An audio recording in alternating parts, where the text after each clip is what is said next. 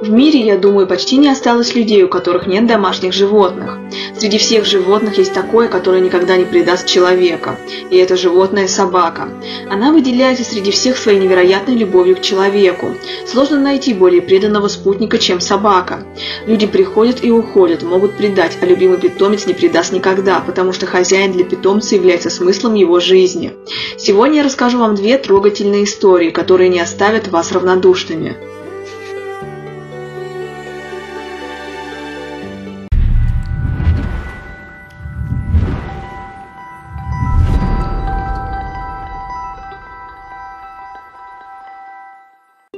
Эта история произошла несколько лет назад в Китае. Один мужчина решил завести собаку, но решил, что не будет покупать питомца.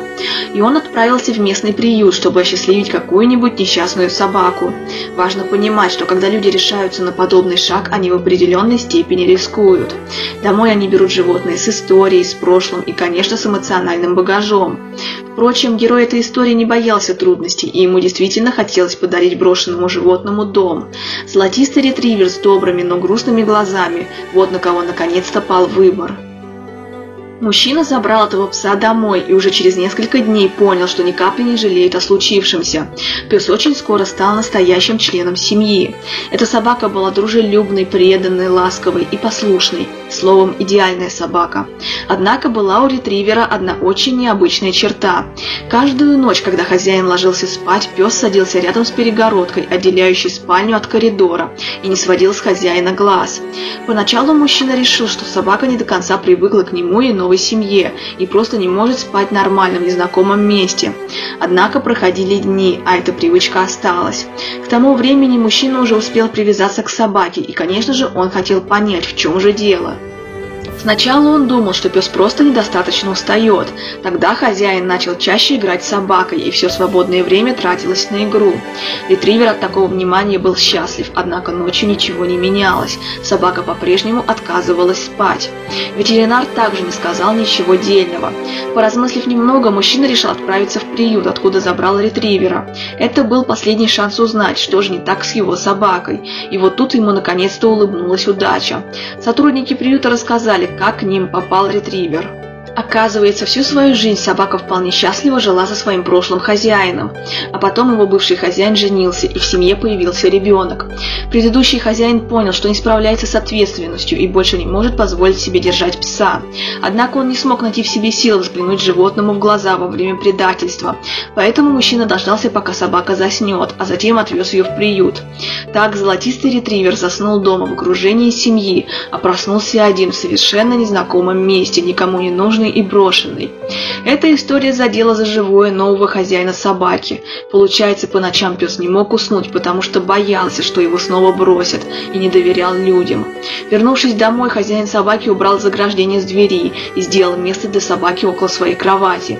Теперь ретривер мог лежать по ночам в хозяйской комнате. Понадобилось еще очень много времени, чтобы пес забыл предательство и смог наконец-то спать по ночам. Это реальная история, произошедшая в 1974 году, статья о которой была опубликована в «Комсомольской правде». В аэропорту Внуково была объявлена посадка на рейс Ил-18, который отправлялся в Норильск. Пассажиры суетились, торопясь занять свои места. Только один из них не спешил, вежливо пропуская остальных.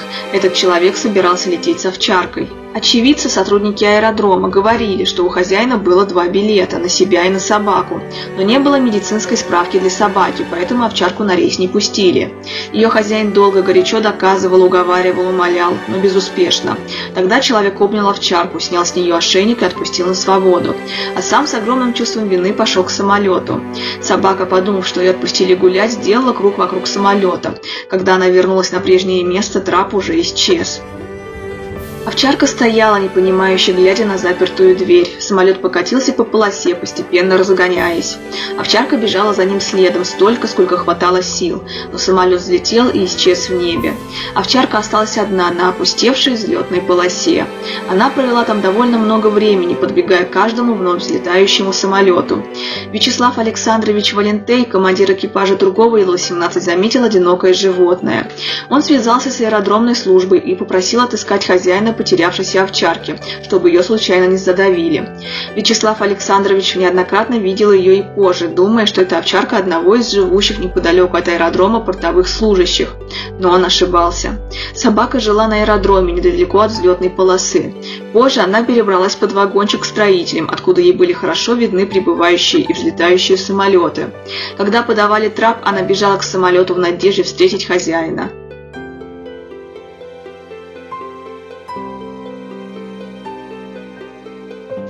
Персонал аэродрома прозвал ее Пальмой и полным составом подкармливал ее, но близко к себе людей собака не подпускала, за исключением одного человека, техника Николая Васильевича Володина. С ним собака вроде бы поладила, однако с аэродрома уходить не соглашалась ни в какую. Видно, боялась пропустить свой рейс. Пальма по-прежнему встречала каждый прибывающий самолет, вставая у спущенного трапа и глядя на проходящих мимо людей. Затем уходила на свое привычное место.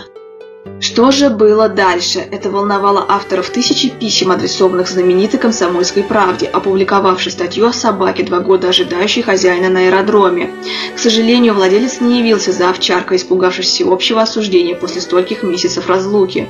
Однако пилот Вячеслав Александрович Валентей получил анонимную записку, автор которой утверждал, что около двух лет назад оставил овчарку на московском аэродроме. Описывая свою собаку, он уточнил, что у нее порвано ухо и болен левый глаз и именно поэтому он не смог получить медицинскую справку. Поскольку о больном глазе не упоминали газеты, можно предположить, что автор записки – подлинный хозяин Пальмы. Сотни читателей этой газеты отслеживали судьбу потерянной овчарки, и каждый мечтал забрать ее к себе. В конечном итоге Пальма отправилась в Киев с доцентом педагогического института Верой Котляревской, которой пришлось приложить неимоверные усилия и большое терпение, чтобы вызвать у овчарки доверие. Перелет из Москвы в Киев Пальма провела под действием снотворного в компании новой хозяйки и ветеринара. На новом месте Пальма вначале чувствовала себя некомфортно, однако со временем прижилась и на радость хозяевам родила трех щенков. Эта история легла в основу фильма «На привязи у взлетной полосы», снятого в Киевской киностудии в 1988 году.